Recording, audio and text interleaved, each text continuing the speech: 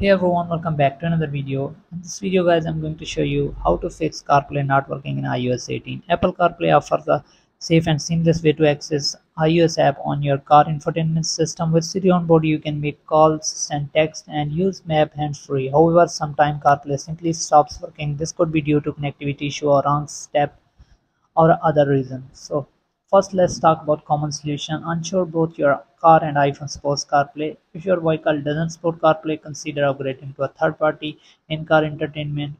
Then next step, restart your iPhone and see if it makes any difference. So if this doesn't solve your issue, then move to the next step. The next step would be ensure CarPlay isn't restricted in screen time setting. A major reason Apple CarPlay might not be working for you is that if the option is disabled. For that, you can go to your iPhone settings go to screen time then click on content and privacy then click on allow apps and feature and make sure that the CarPlay is enabled. The next step would be check USB cable and USB port. If you can't use CarPlay over wired connection you might want to check the USB cable you are using.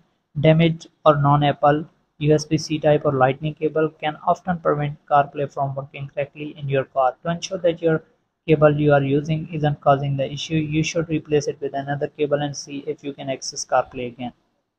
Then move on to the next step. The next step would be unpair and set up CarPlay again. If you're still unable to use CarPlay in your car it's recommended that you unpair and set up a new connection. This should help you eliminate any technical issue that could prevent CarPlay from working.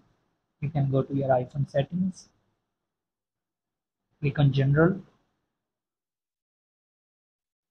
and then click on CarPlay and unpair the car and then pair again.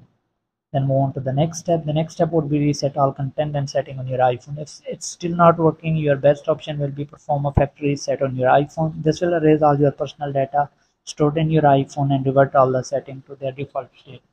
For that, you can go to settings, click on general transfer reset. Make sure that you have a backup of your iPhone because you will lose all of your data. Click on erase all content and settings click on continue erase iphone and enter the password. After this your CarPlay will start working. If you need any help let me know in the comment. Thanks for watching